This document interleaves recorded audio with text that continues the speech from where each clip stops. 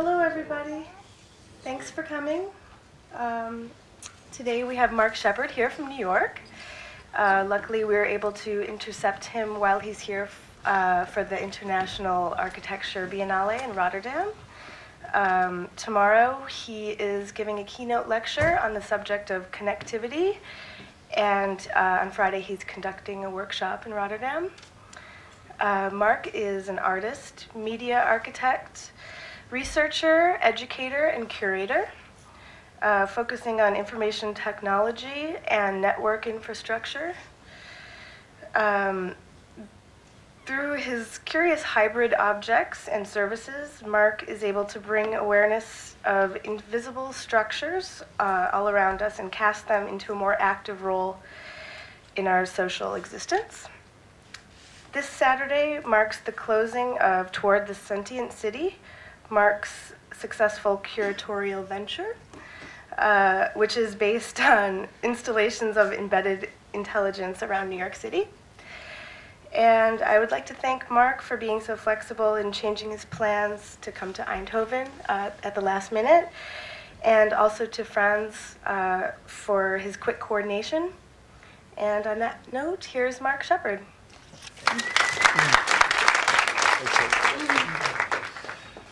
Um, hi, thank you for coming. Um, thank you, Patricia, for that lovely introduction.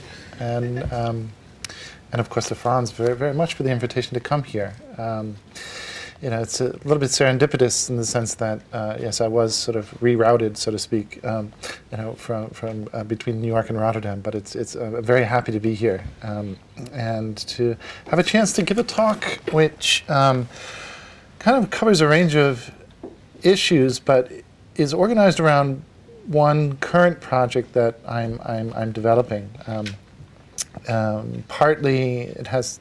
I'm not going to talk about the exhibition tonight. I'm going to talk about a related project to that exhibition that I'm um, that I'm working on, and I'm going to try to go a little bit deeper into that than I might normally for a more general audience, given the fact that uh, we are, um, to a certain extent, um, related in terms of at least a focus on design sociality in its broadest sense, right, and how we begin to engage that as, as artists, designers, architects, and so forth. Um, I teach, uh, just by way of introduction, I teach at the University of Buffalo, and I have a joint appointment there between uh, the Department of Architecture and the Department of Media Study. And what that enables me is a tremendous amount of uh, freedom in terms of the territory that I'm able to explore in my research. I direct uh, the Center for Architecture and Situated Technologies together with Omar Khan, uh, my colleague in the Department of Architecture. And I also coordinate a, a dual degree program between the Media Study Department and the Architecture Department uh, called the Media Architecture Computing Program. And it's where we work with graduate students very intensely on some of these issues, um, both in terms of the kind of intellectual and conceptual frameworks within which uh, the technical skills as well are developed. Um, just a quick check though before we get going. Can, you, can everyone, everyone hear me okay? Yeah? Uh, should I speak up or should I speak slowly or speak faster? It's perfect. It's good. Okay. well, we'll see. Okay. Um, I'm not going to talk very much about these, just previous projects. Uh, the Tactical Sound Garden. Um, this is an open source software platform for shaping the sonic topography of cities uh, using a kind of Wi-Fi enabled mobile devices. Um, uh, using using a mobile phone or a laptop or PDA uh, participants are able to plant sounds within a positional audio environment, so sort of a 3D audio environment, which then gets mapped onto the coordinates of a physical geographic space. Um, so effectively over overlaying a publicly constructed soundscape onto a specific urban space. Um, project draws on the culture of community gardening. Uh, in this case, this sort of natural metaphor is very much important. Gardens being something which are um, uh, appealing to the sensorium in a kind of broad sense, both smell, touch, and so forth. Uh, but it's also a participatory environment, uh, which aims to explore new spatial practices and social interactions that, that are enabled by uh, these types of technologically mediated environments. Um, so, wearing headphones connected to one of these Wi Fi enabled devices, uh, participants in the project drift through virtual sound gardens as they move throughout the city. Um, this is now actually uh, a fairly old map of Wi Fi hotspots in New York City. And the project relies on these as beacons for wayfinding, for determining the location of the device, right? So effectively, uh, it's using the kind of market proliferation of everyone buying a Wi-Fi access point, right? A hub, a Linksys hub or a wi- Wi-Fi hub, and uses them to uh, effectively serve as beacons in the landscape, enabling one to determine the location of a device in the physical space. Um, so in this sense, it's a kind of parasitic, parasitic technology, right? It's one which isn't specific, and I don't have control over this at a certain level. And working within wireless networks, working within uh, particularly the 2.4 gigahertz spectrum, pub- so-called public spectrum, right? Um, the unlicensed spectrum um, is, is highly un- un- unpredictable. And in, in, in, my work, this becomes um, increasingly important, thematic. So the project's iterated uh, in multiple cities over time. Um, generally speaking, I'm working with different uh, community organizations in developing the installation in each place. Um, and each iteration enables me to look at different parameters of uh, the sound garden, how to tweak one, uh, say, who, who has access to, to the garden, who, who determines um, who has access to the garden, who can contribute, um, let's say, an initial library of sounds. Um, is it completely open? Is it uh, sort of a smaller subset of uh, people, say, local uh, group of local sound artists who create sounds to be planted by others. These parameters, because it's an iterative project, can be explored um, over time and um, evaluated in different cases. Okay, I'm going to try to speed up a little bit. This is a more recent project also dealing with uh, wireless networks. Um, it's called Hertzian Rain, and it's more of a variable event structure. Um, and it's really designed to kind of raise awareness. After working with the sort of wireless spectrum in the Sound Garden, it's really designed to raise issues surrounding um, the wireless topography of urban space, particularly in relationship to this um, notion of competition for signal dominance. Uh, one thing that happens when you have congested um, uh, network spaces is that you'll have signals competing for each other. The uh, common uh, occurrence of this is um, uh, radio frequencies, which, as you know, probably when you're driving or uh, moving through, you, sometimes you'll have one station competing with the other, right, to, to try to gain the upper hand, so so to speak, and and and your attention, obviously, um, by you being able to hear it. So this project was really developed to try to uh, make that quality phenomenon more palpable.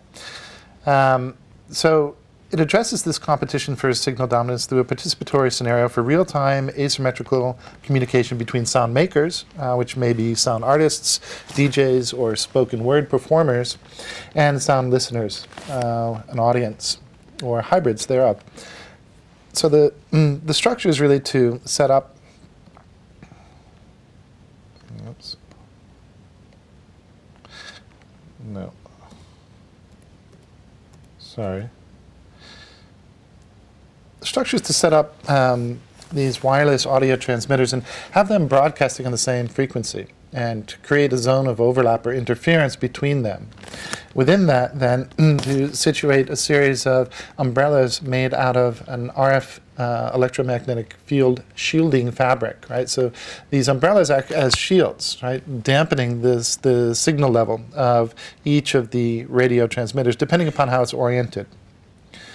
On the top then is an accelerometer, which takes the movement of the umbrellas and through a wireless mesh networking uh, radio modem broadcasts the movement data back to the people making the sound. So you have this kind of asymmetrical communication between the sound makers on the one hand, right, and their kind of competition for signal dominance.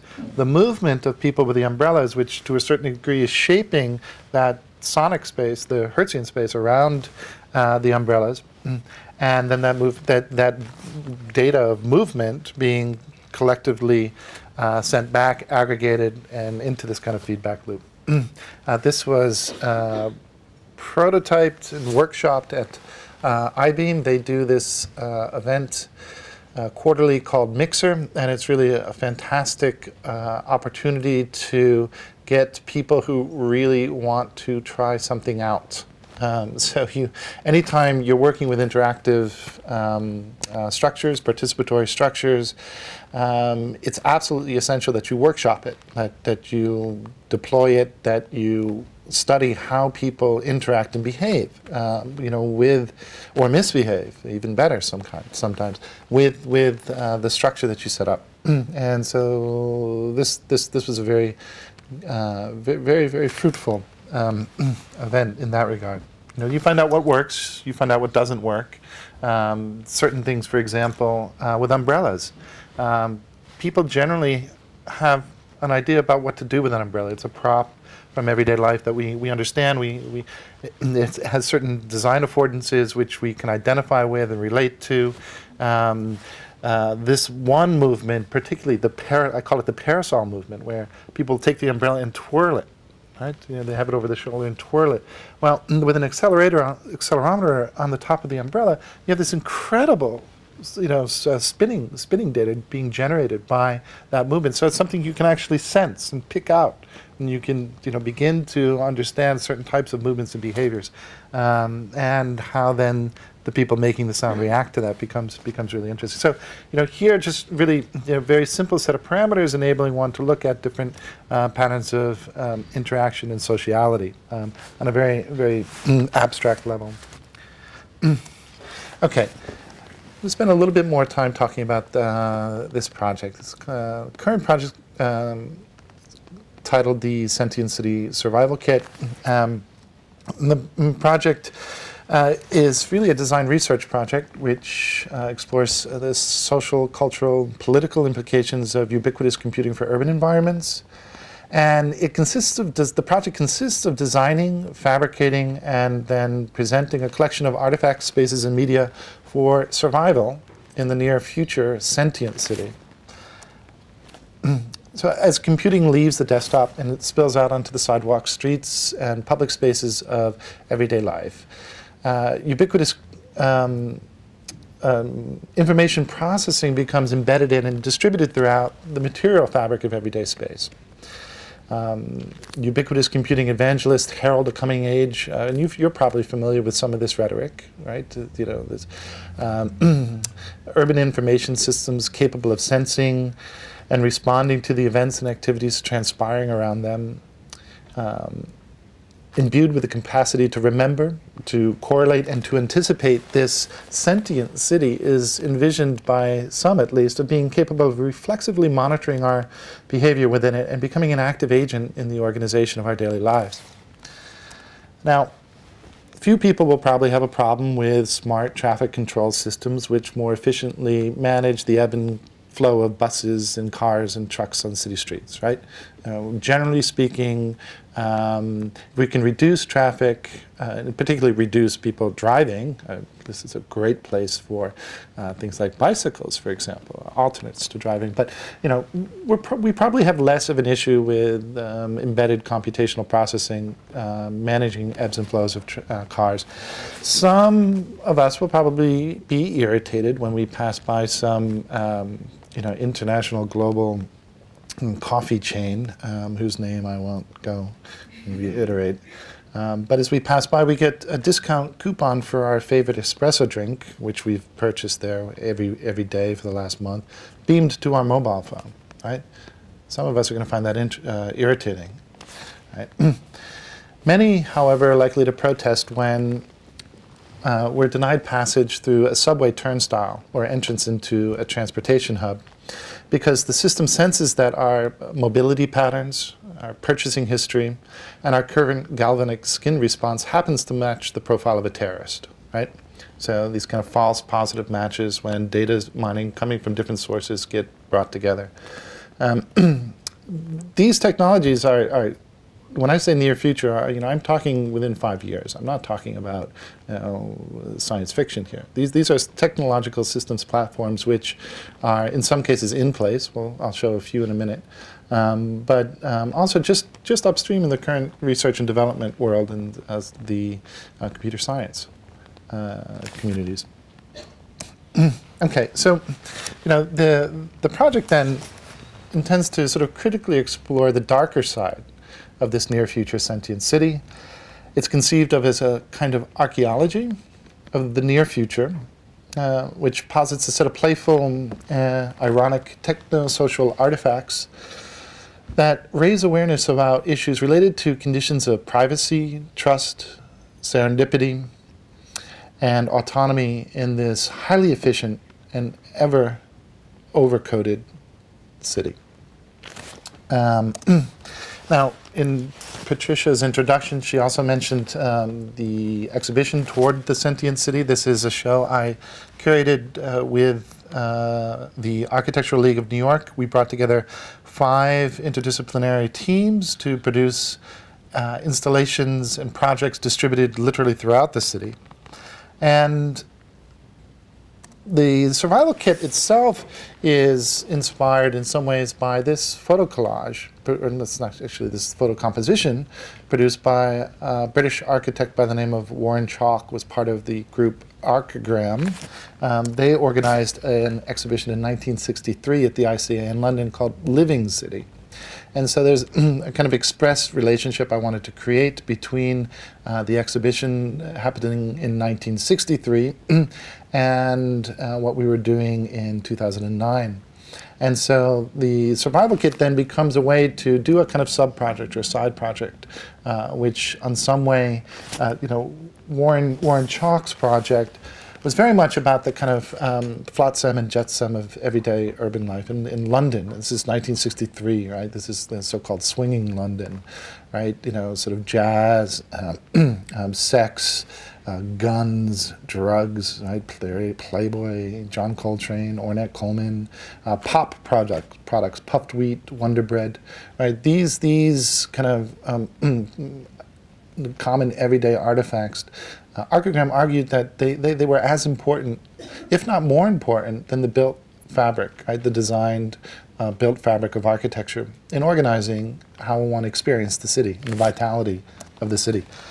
so it's a little bit the territory um, I wanted to work with here. Now, what is, um, what is a sentient city? Now, um, if we look at the uh, Latin roots, sentience refers, generally speaking, to the ability to feel, versus, say, a sapere, right, which generally refers to things which we know. So when we're talking about a sentient city, the sentient city is something which you know feels you, but doesn't necessarily know you, right? Um, so it should be clear that from the outset we, we have to distinguish between two things. First, uh, sensing is something that animals, plants, and um, some machines can do, right? It normally involves a sensing organ or device, uh, which enables a system of which it is part to actively respond to environmental circumstances. Right? Um, a system may sense light, sound, temperature, presence of water. Um, second, though, sentience, as opposed to sensing, right? Um, having a sensation or a feeling about something um, is not specifically tied to sensing, right? Which is to say, sensations or sentience is more than just sensing something, right? Um, for it involves an internal state in which what is sensed or what's brought in is somehow processed and is processed in such a way to carry, you know, develop a subjective character, right? It's something which takes on a quality which is more than just there's, you know, this much light or there's uh, it's the, the temperature is this warm or there are this many people moving through this space at a certain time. Those are things, all things you can sense, right? But when we're talking about sentience, we're talking about the kind of inferences that start to get made about, you know, what it means that this many people are moving through this space at this time. What happens when we correlate things like, um, you know, where the different places you visited over the last week, which we know because you've used a, um, you know, a um, an RFID uh, embedded in, uh, you know, a, uh, a like your Metro card, for example, in New York City, which is actually not even RFID at this point, it's just magnetic stripe, right? So ultimately, when we're talking about sentience, we're talking about something which is beginning to correlate, beginning to bring together disparate bits of information which are sensed or collected or gathered. And you know, th- through through our daily lives, it's it's it's remarkable how many different systems we interact with on a daily basis, which are collecting information about us. Um, artificial systems can also sense. Uh, sorry, can also uh, sense without being um, uh, sentient. That is, they can make sensory discriminations but not have a sensation stick. This is red, this is blue, right? At the same time, people can be sentient without having, you know, without sensing anything, right? I mean, if you think about dreams, for example, right? We have sensations, right, without necessarily seeing something or hearing something. Uh, hallucinations. Um, so what I'd like to do then, just quickly, is to, to, to, look a little bit at this meme of the sentient city along three vectors here, and then I'm going to go and talk at the end just about these four these four parts of this sentient city survival kit that I'm developing. First is the sentient city as a kind of technological fantasy. Uh, when I first started the project, of course, you know, I Googled uh, sentient city to you know see what was out there, right? And just a, and Google is a good way to get a very quick cross section. It's not obviously it's not um, uh, all by any means comprehensive in that regard. But what this um, uh, first thing that showed up was Ranx, the Sentient City, DC Comics, 1981.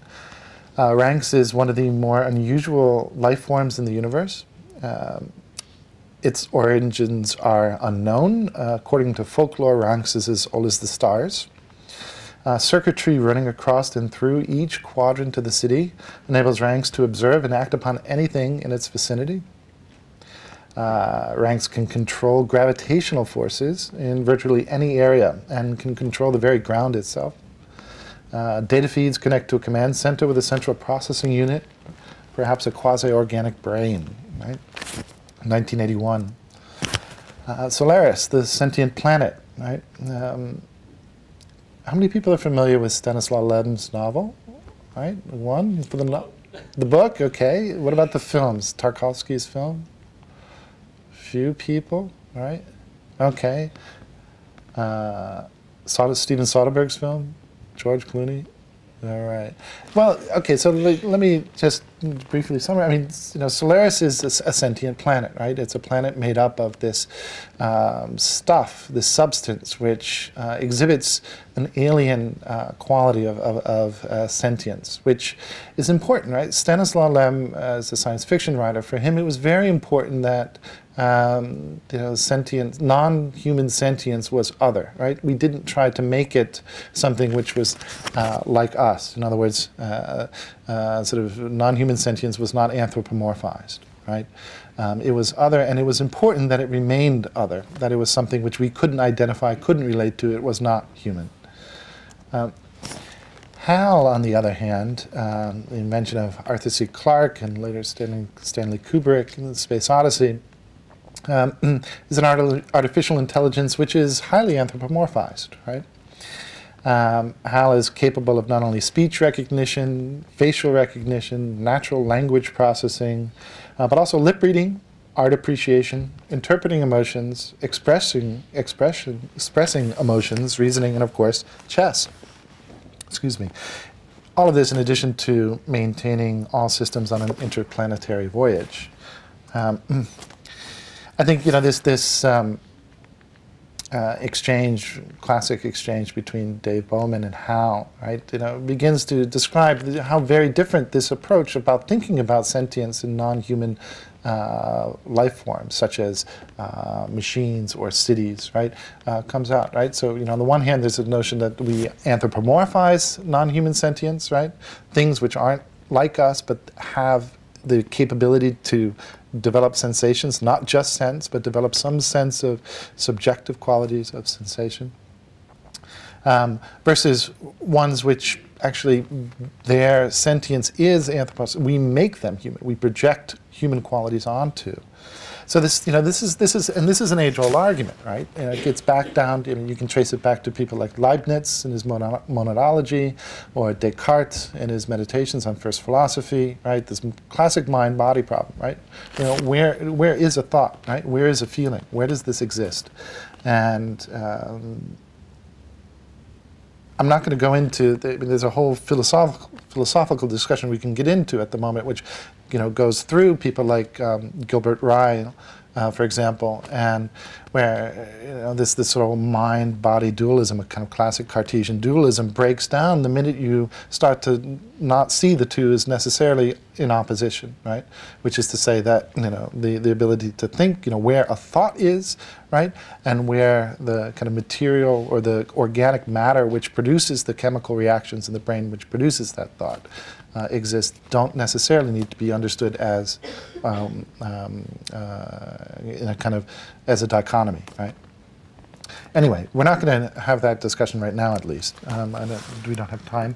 But the sentient city as, as, a technical challenge is also this is the next the next vector I want to look at, and you know this is this is the world of computer science and engineering. This is the the world of um, um, the big technology players, right? Uh, you know when a an uh, journal or a, magazine like The Economist uh, devotes uh, a special report um, on the coming age of ubiquitous computing, that we're we're moving beyond just the idea of this idea existing in uh, kind of isolated research research lab somewhere, right? Um, but it's beginning to enter into the kind of broader public consciousness. And so we have things like, you know, the ability to, you know, we don't lose, you know, this, this cover, I think, plays out, you know, some really kind of by now almost cliched examples, right? You know, in the near future, no longer are we going to lose our car keys or our apartment keys, right? We'll just Google them and we'll find them, right? Um, our dog will tweet us when it wants to go for a walk or needs to go outside. Um, our tap water will self-report its pH balance, right, and level of dissolved oxygen.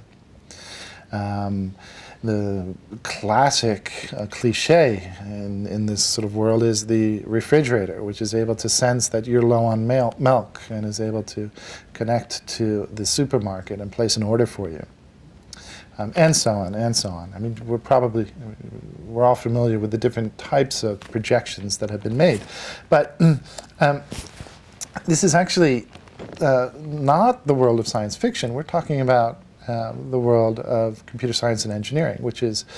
Uh, 1991, um, person by the name of Mark Weiser publishes in Scientific American uh, this article, "Computer for the 21st Century," saying the most powerful technologies are those that disappear.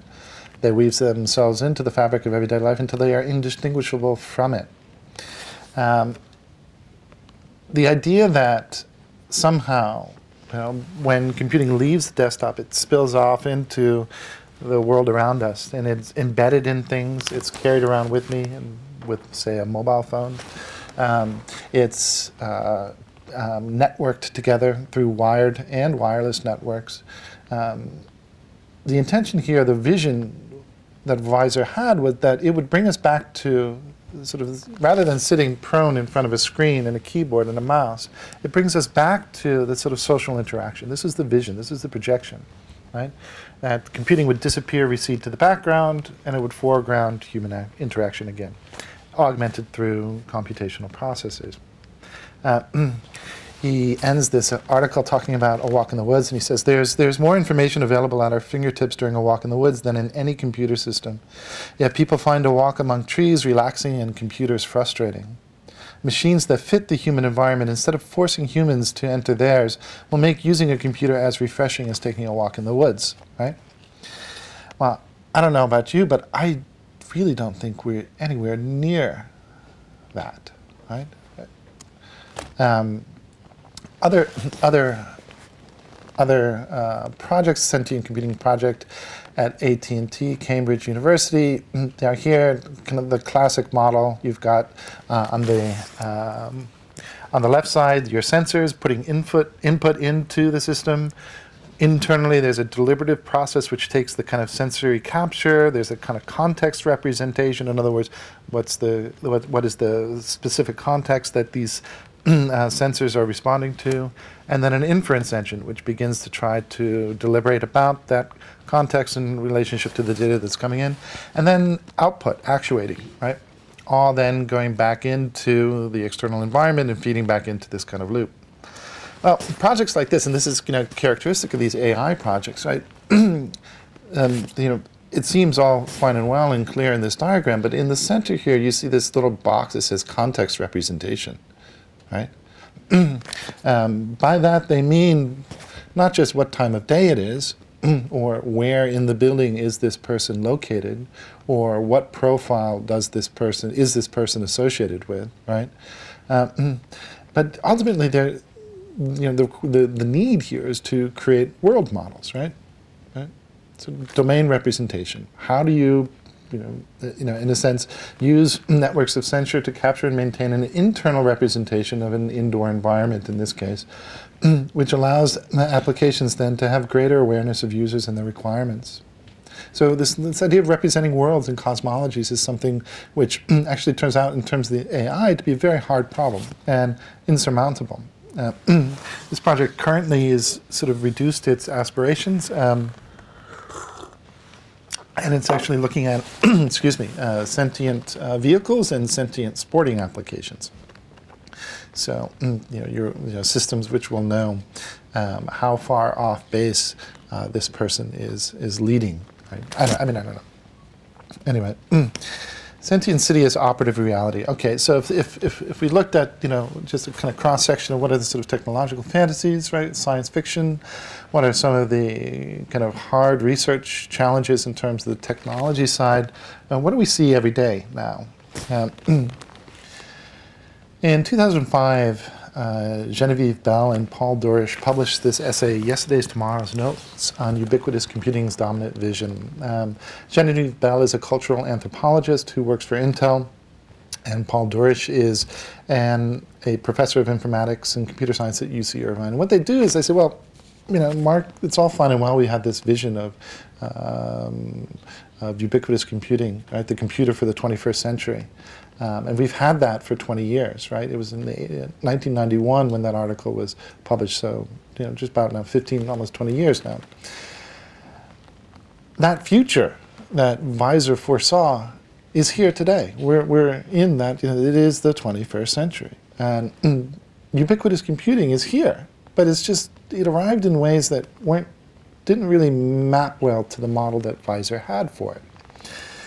Um, in this in this article, they talk about three things, which I just want to quickly sort of identify. One is that the centrality of uh, the field of ubiquitous computing's proximate future, um, and the centrality of this idea of the in the sort of near future, approximate future, continually places its achievements um, out of reach, where while at the same time binding us to current practice. So effectively what happens is by focusing on the future that's just around the corner, uh, ubiquitous computing renders contemporary practice, in other words, um, outside of research sites and living labs, by definition irrelevant or at least very outmoded. Okay.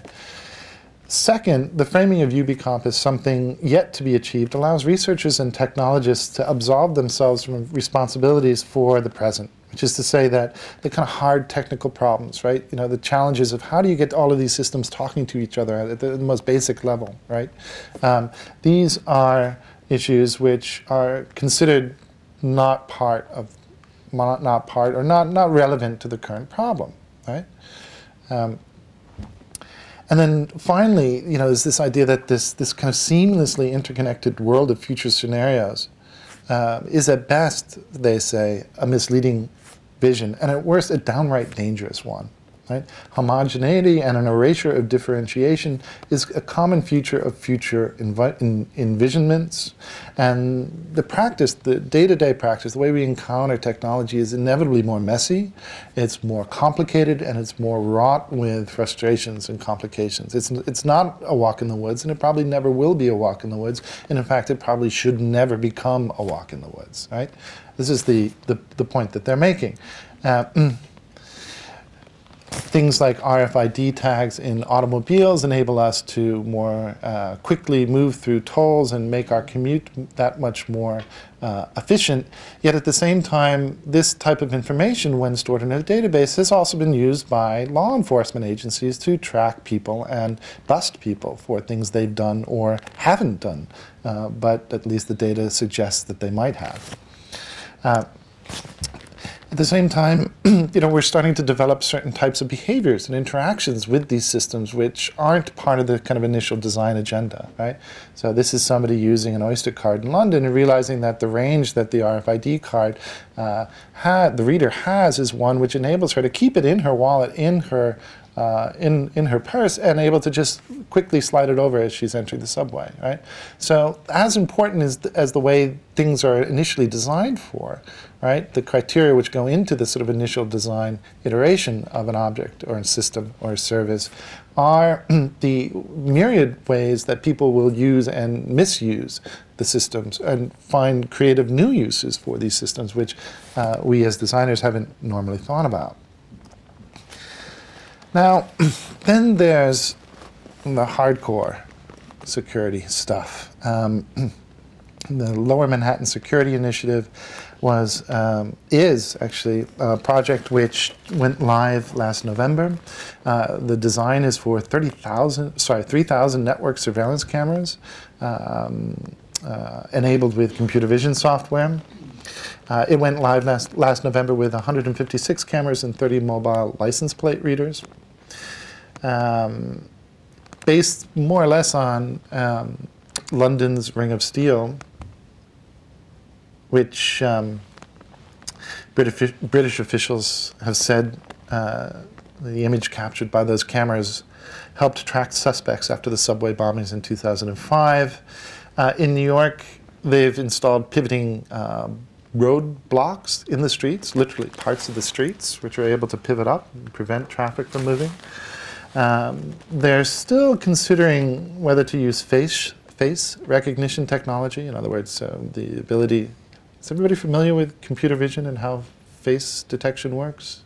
Yeah, more or less. I see a couple of heads. Generally speaking, what it's doing is that they're analyzing a video frame, right, frame by frame, and interpreting the sort of mm, visual field of that frame in relationship to a series of models, right? Uh, images of people's faces, right? And to a certain extent, they found that by understanding the distance between eyes and mouth and those geometric proportions, they can, with some, well, whether it's reasonable or not, some level of accuracy, uh, determine, you know, recognize you, right? Um, Right, so software tracking the camera's images would be designed to pick up suspicious behavior. If, for example, a bag, bag is left unattended for a certain length of time or a suspicious car is det detected repeatedly circulating the same block, the system will send out an alert. Now, uh, Mike Crane and Crang and Stephen Graham have been doing some really interesting work. Uh, they come from the world of uh, human geography, more or less. Um, and this, this is literally a slide which comes from uh, the U.S. Defense Science Board's call for what there's a new Manhattan project based on ambient intelligence for tracking, targeting, and locating, right? So what they want to do, they want to be able to locate, identify, and track people, things, and activities in an environment of one in a million to give the United States the same advantage in asymmetric warfare it has today in conventional warfare. Okay, I don't know about you, but that doesn't strike me as a walk in the woods. Right? We're talking about a different vision here, and we're talking about a very different model for thinking about ubiquitous computing in urban environments, and we're thinking about sentient cities, which maybe are not necessarily the most benign cities, even. Right? Um, series of problems: enemy leaders look like everyone else, enemy combatants look like everyone else, enemy vehicles look like civilian vehicles, and so on, and so on, and so on two years ago, there was the NYPD in their ever um, uh, helpful suggestions released a profile of what to look out for uh, for terrorists riding the subway. And the profile consisted of, uh, while they're wearing a kind of thick, you know, kind of um, bulky jacket, uh, they're wearing cheap cologne or cheap perfume, and they're sweating profusely. Right? This was the profile. You know, you see somebody like this, you see something, say something is their sort of tagline, right? Well, they basically described about half New Yorkers, right? You know, riding the subway, right? So the Defense, Science Board recognizes this, right? We've got a problem. And of course, what's the answer? Well, technology, right? So we've got biometrics, um, and you know you have the whole range, right? So things as low tech as fingerprints or palm, uh, palm prints, iris scans, all the way up down to smart dust, spy dust. They even use the term spy dust, right? Now this again, I, I just want to remind you, this is not science fiction anymore, right? This is not something that we're seeing right, produced by Steven Soderbergh starring George Clooney, right? This is something that's being rolled out in lower Manhattan today, right? So what role do we have as what role do we have as designers, as artists, as architects to begin to participate in the way that these near future urban spaces are shaped, right? What roles can we play in the way that we think about uh, our role as designers in shaping this near future world?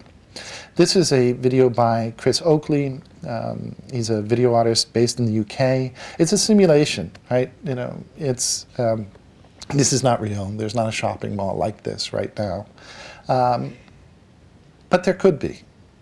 There's nothing preventing the, the technological systems here are in place, right? Mm.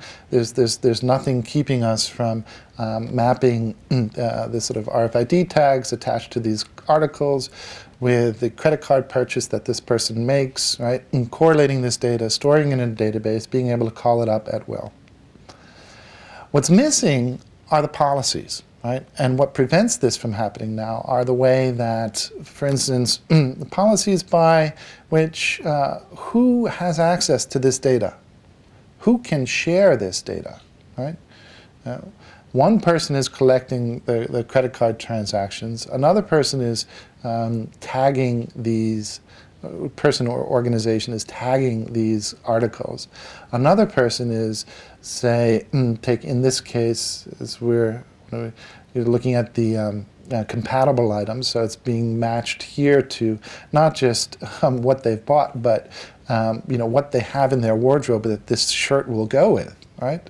You know, who manages these relationships?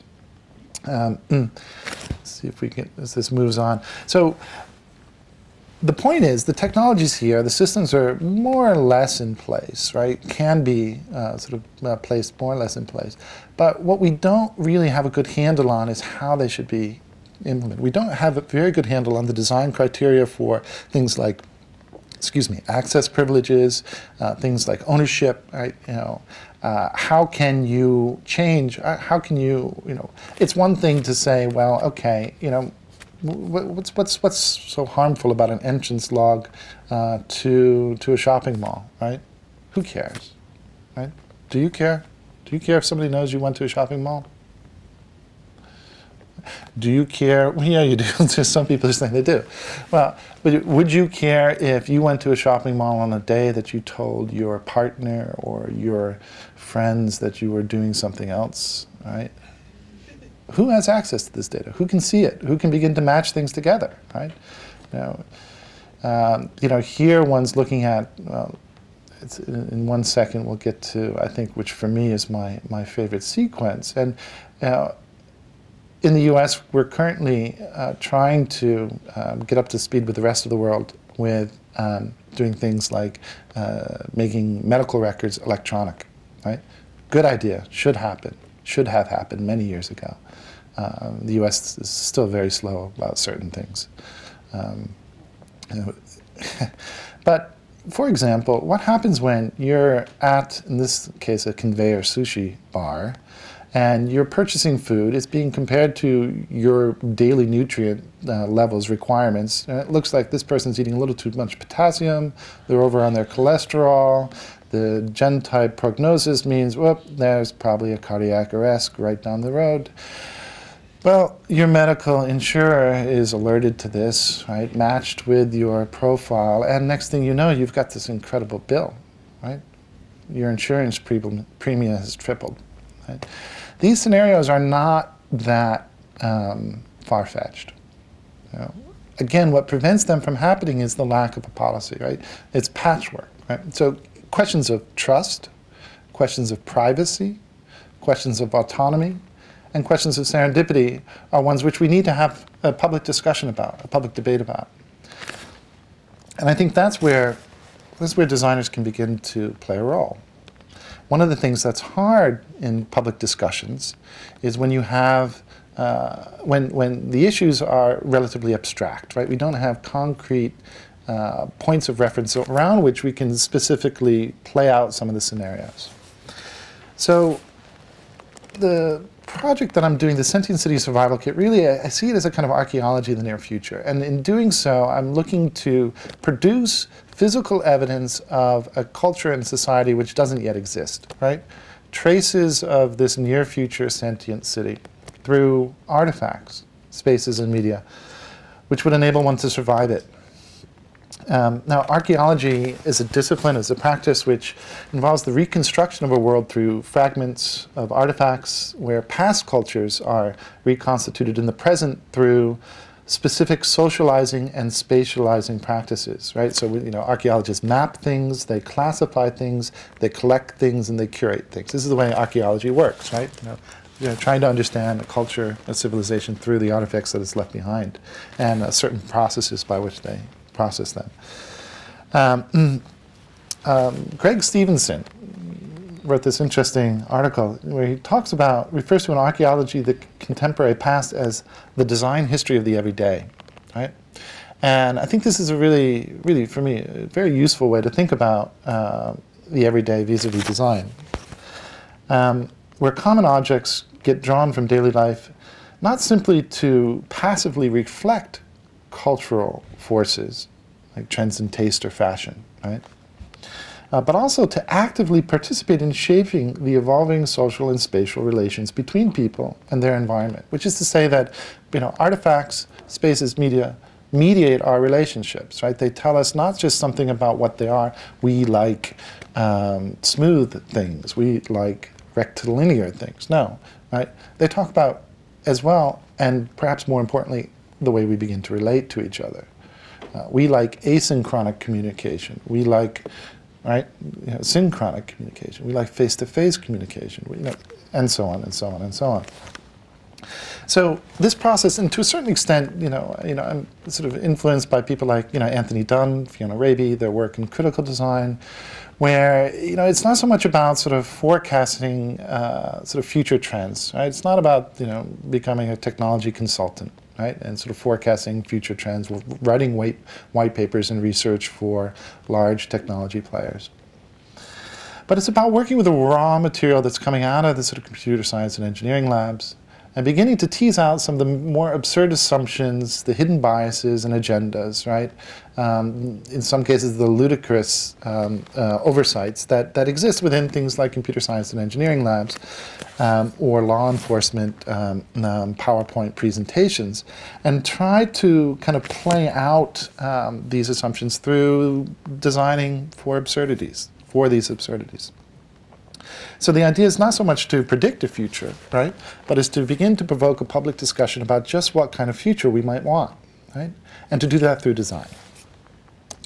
So I'm going to close by just quickly presenting, the, currently there are four items in the kit. Um, these are uh, very much in development. Um, so in the near future world where finding our way from point A to point B is not going to be the problem, um, uh, but um, somehow finding ways to find something else, right? To, to get lost, right? To lose sight of what happens, to not lose sight of what happens along the way. Um, an alternative GPS navigation software application for mobile phones that determines a route to a destination that the user has not previously taken, designed to facilitate something by looking for something else. Um, in a near future world like that shopping mall where we've got item level tagging um, in, and uh, um, remote data sniffing or clandestine data sniffing uh, are both common corporate practice as well as popular criminal pastimes. Uh, his and hers undergarments designed to sense hidden radio frequency identification tag readers and alert the wearer to their presence by activating small vibrators sewn into bras and boxer shorts. Ad hoc dark, note, dark roast travel mug. Well, in an age where all communications are potentially monitored, but also where access and bandwidth are allocated in part in relationship to your market capitalization and your credit history. Um, ad hoc mesh network radios in the form of travel mugs, right? commuter travel mugs, where uh, communication can be uh, developed along one's morning commute.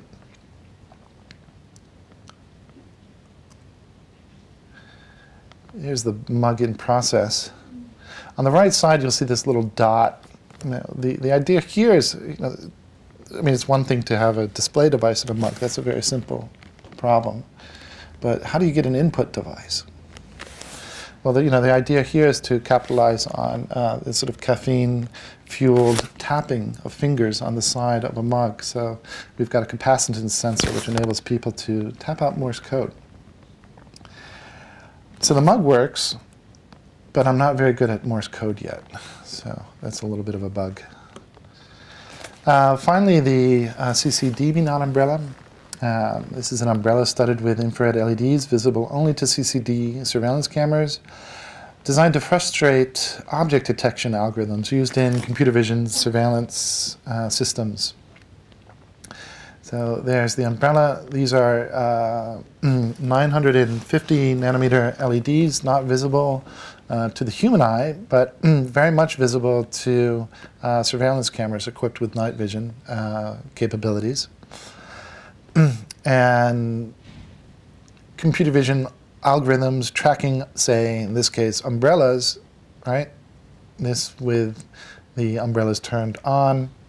Um, here, just a preliminary study where uh, the umbrella is really just in the lower right hand uh, frame is really, I think, what, what's, what's important here. Um, typically, these computer vision algorithms um, take several steps to process an image. Uh, the first thing that happens is the noise is reduced, and so uh, the image is reduced to a kind of grayscale. Uh, the second thing that happens is what's called a background subtraction, where you see this just kind of black and white, um, or in a sense binarization, what's happening here. And then following this initial simplification, the software, software counts, measures, and identifies objects, dimensions, and defects or other features in the images. That's what you're seeing in the lower right. And all that's happening here at this point is blob, uh, sorry, uh, blob detection and edge tracking, right? So it's just tracking the edge and the blob and showing just very simply how something not visible to the human eye, right, um, can look very different to, right, to the surveillance camera. Mm. Okay, so mm, what are the questions at, well, you know, what's, what's at stake here? Um, I mean, collectively, I'm interested in how these artifacts, spaces, and media might ask, you know, in what kind of city would I be viable, right? In what kind of city would I be useful? Right? In what kind of city would I be necessary or even popular for that matter, right? For each of these objects. Who made me and, and for what purpose, right? How do you begin to instill some of the kind of lines of questioning that um, are traditional to fields such as archaeology in terms of trying to imagine what this city is through, through its darker sides, right? you know, what relations between people and their, their environment do I suggest as an object? In what places, circumstances, and situations would I be found? What, in what places, circumstances, and situations would I be banned? Right? In what ones would I be right? Um, confiscated? Who? Who would ban me? Right? Toward what ends? So again, you know, ultimately the project here, in, you know, in conclusion, is, is, is, it's less invested in forecasting future trends in technology, right? Um, but it's more about trying to provoke uh, public discussion around just what kind of future we want. And this design process is involved look, looking just what's happening upstream in computer science and engineering R&D labs and teasing out some of the more absurd assumptions, latent biases, and hidden agendas at play there. And ultimately, the production of the physical working prototypes then becomes a chance to play out the design implications of these assumptions and you know, to begin to develop a series of questions. It's not so much about providing answers to these you know, issues of trust, serendipity, autonomy, privacy, but to beginning to, to be able to be asked to, to be able to ask more specific questions about them, to get our questions um, more clear. Okay, that's it. Um, sorry if that went a little long. I, I'd, I'd be happy to take any questions if you have any, any questions. Sure.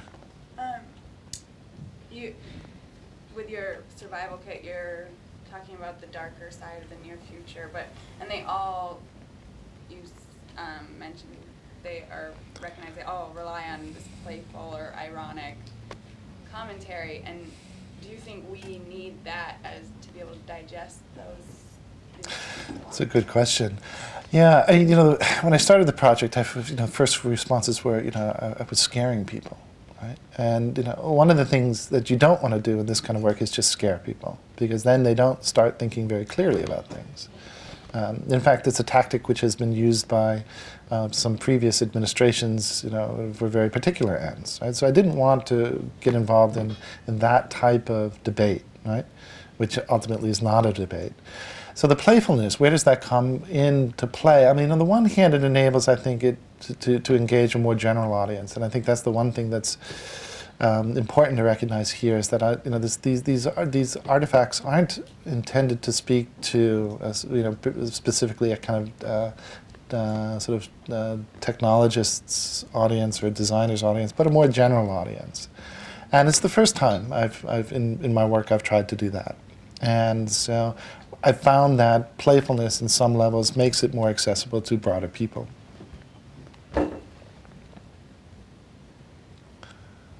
You know, but the flip side of that is to what degree does it become dismissed, right? You know, do the issues become, you know, consumable, laughed, thrown away, right?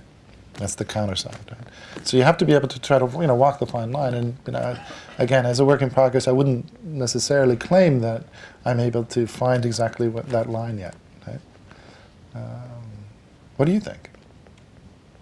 I think you're doing it. No, no, no, not in terms of what I'm doing. In terms of playfulness. I mean, oh, I think you're doing it. and the role of playfulness in, in designed objects. You think it's important? Well, when, when you're opening up a critical discussion, I think it helps as a tool. Mm. And, but it is about making sure it's not on the ridiculous or hysterical side. Right. Which en- enables it to be dismissed pretty easily. Right. Yeah. Good. Yes, up in the back. I have a question about um, what's your relationship with uh, critical design and how do you feel that your work is related to that? Because you quickly mentioned it. Right.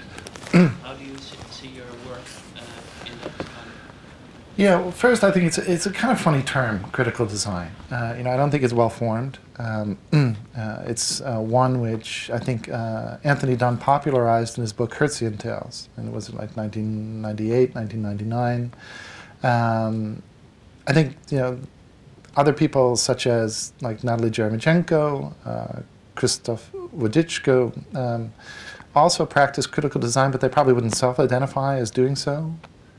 Um, interestingly, when Dunne, you know, in, in the passage where he does, you know, where he coins the term, basically, uh, you know, he looks to architecture, and he says, well, architecture has this long tradition tradition of the ideas competition, and it's and you know, are people familiar with what an architectural ideas competition is? Some okay. Well, just for those of you who aren't, it's it's it's it's a long-standing practice, hundreds of years, where rather than having a design competition for a building which gets built right and serves a purpose, you develop an ideas competition around an issue, right, which it, and the entries are solicited for cultivating and provoking public discussion around, you know, what should we do in the center of this city, right? Not, you know, get a solution, but let's collect a series of ideas which expand the way we're thinking about what's possible. Um, and so when Dunne defines critical design, he does it by looking to architecture and says, well, you know, within architecture they have this tradition. Why can't we do that for product design, right? So I'm not a product designer, right? You know, I'm not grappling with any of the very sort of real issues and real concerns that go along with imagining products for mass markets, right? Or even, you know, not mass markets, niche markets, right? Um, so I come at it from the point of view of as an artist, right, uh, who has a background in design uh, coming from architecture.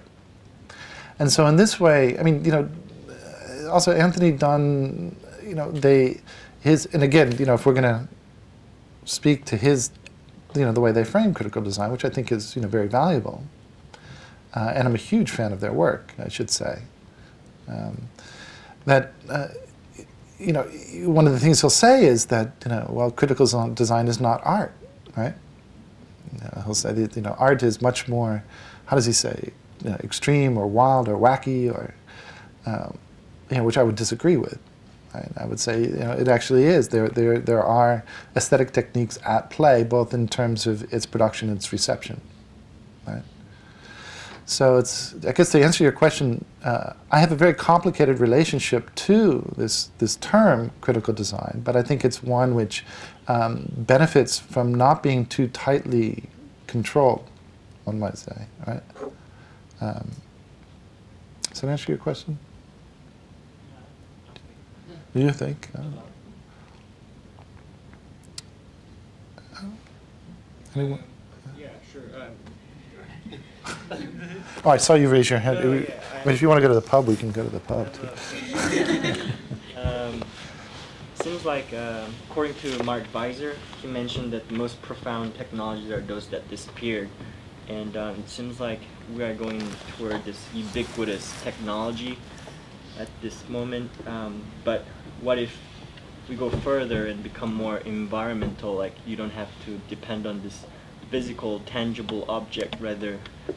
Um, and again, Mark Weiser said like it blends into Right. the society. And how do we stand as a product designer um, in this evolution of technology? Like how do we stand as Yeah. a designer? Good question. Um, you know, this, this whole idea about the disappearing computer is fraught with problems, right? Um, you know, one has to ask, you know, is it, do we really want them to disappear, right? Uh, you know, when we're not aware of certain things, like take contactless payment systems, for example.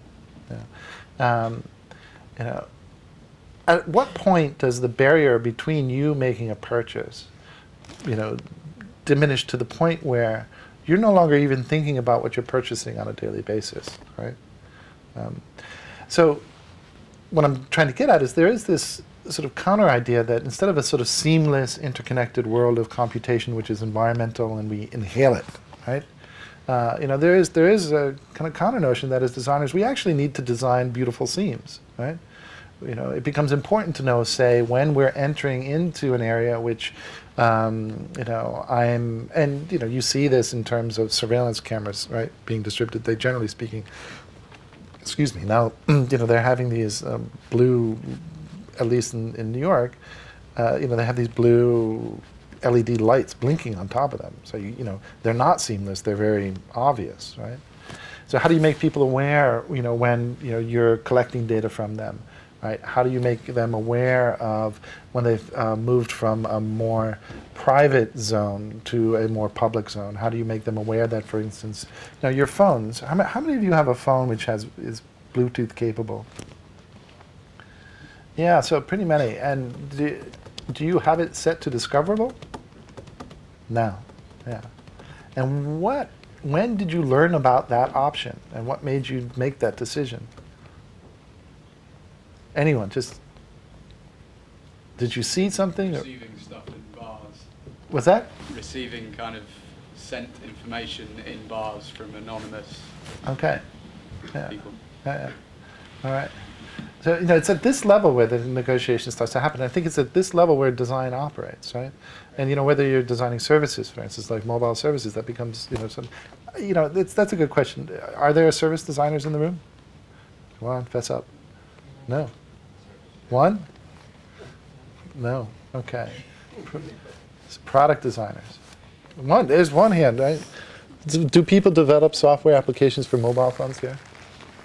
No. Ah, okay. Some people. All right. You know, so you know, these are kinds, you know, certain consequences. But you could also, you know, ask the same question about the, the, you know, the, the, the physical design, the, you know, the industrial design of the artifact itself. Now, if you think about the first Sony Walkman, right? You know, one of the things that was amazing about that is that it had this little orange. First, it had two headphone jacks, right? And it had a little orange button. Actually, mm, let's just see if I can find this image. Now it's going to take me too long to find it. It's easier to describe it. Um, two headphone jacks, a big orange button. What was the button for? What was it labeled? Sharing? Huh? Sharing? Sharing? Kind of. Not really. What was the word? That's what it affected. It enabled. What? Play? No, not play. It was the yeah, the orange one. It was the talk button. Right? What it did, it, they didn't label it mute. They labeled it talk. And this device was originally designed for two people to be listening together, right? and that there was the understanding that right the designers were understanding that in designing this object you needed to you know kind of engage the sort of social interactions that it afforded or it hindered right so mean you know today we have this practice of playlist sharing or um, you know sharing earbuds one i get the left you get the right kind of thing right any other questions I have one another. sure Um, just, I've been thinking about this. Um, just personal question. Would you uh, rather live in uh, autonomous society with sensing technology, or flipped uh, sensing society with autonomous technology? Oh. Hmm. I like that. I like that line of thinking. And where do you think it's going? Whoa. Well, again, I'm not in the business of forecasting future trends. That, that's other people's job who are much better at it than I am. Um, but what would I want uh, is a different question. Um, autonomous technologies with sensing societies versus sensing technologies versus autonomous society. Well, I mean, definitely. I mean, for me, the, my first reaction is, of course, I want an autonomous society, right? You know, I, I, I really value. Part of the reason I live in big cities is the degree of autonomy you can have in them. It's one thing I very much appreciate about urban life. And, and the problem with when you think about autonomous technologies is that, that they're never actually ever truly autonomous, right? Know, I mean, we think of that, you know, as, as of things automatically appearing or disappearing, right? Um, but there's actually, you know, there's, there's actually a tremendous amount of kind of human tethering that happens pretty much each step along the way. So the system in New York, for instance, Lower Manhattan Security Initiative, it doesn't autonomously, you know, move this roadblock up and down, right? You know, there's never somebody at some point, even at the level of code, somebody had to write those ifs then those conditional statements, right? They had to set the criteria about which this thing was looking for, or at least train a neural network to begin to learn what to look for, right?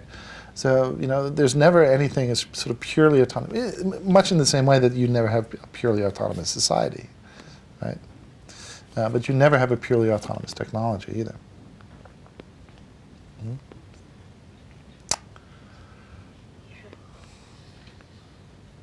Yeah.